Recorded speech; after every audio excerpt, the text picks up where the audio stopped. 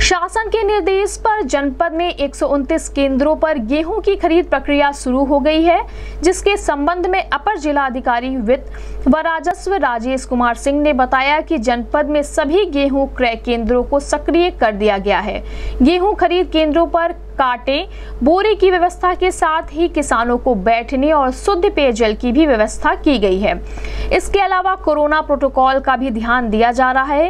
ADM finance Rajesh Kumar Singh ने बताया, शासन के निर्देशानुसार प्रति कुंटल एक रुपए से गेहूँ की खरीदारी की जा रही है और गेहूँ का मूल्य भुगतान किसानों के खाते में सीधे कर दिया जा रहा है।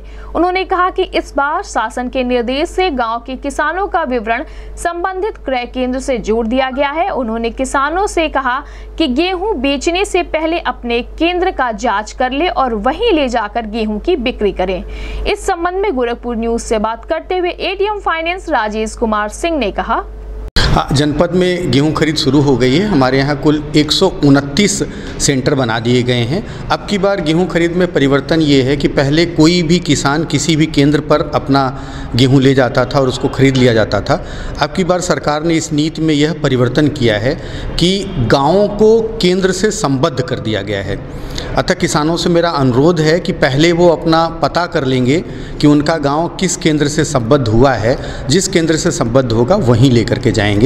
और कल सोमवार का दिन है सभी केंद्र खुले रहेंगे। किसानों से मेरा अनुरोध है कि साफ़ सुथरा गेहूँ लेकर के जाएँ और विक्रय करें। क्या रेट मिल रहा है इस बार उन्नीस सौ पचहत्तर रुपए का रेट है। किसानों को ये पैसा सीधे उनके खाते में जाएगा। गेहूँ की क्वालिटी भी चेक की जाएगी। गेहूँ की क्वालिटी चेक की जाएगी और गेहूँ में कोई और अन्य या कोई अन्य प्रकार का जो विजातीय तत्व होगा उसकी मात्रा यदि ज़्यादा होगी तो वो रिजेक्ट हो जाएगा। अतः किसानों से अनुरोध है कि वो सभी किसान भाई साफ़ सुथरा और अच्छा गेहूँ लेकर के जाएँ। केंद्रों पर कितनी व्यवस्था कांटा और बोरा की? सभी केंद्रों पर कांटे की बोरे की बैठने की छाया की और कोविड की व्यवस्थाएँ की गई हैं। इसके बावजूद किसानों को भी स्वयं कोविड 19 प्रोटोकॉल का पालन करना होगा जिससे वो स्वस्थ रहें।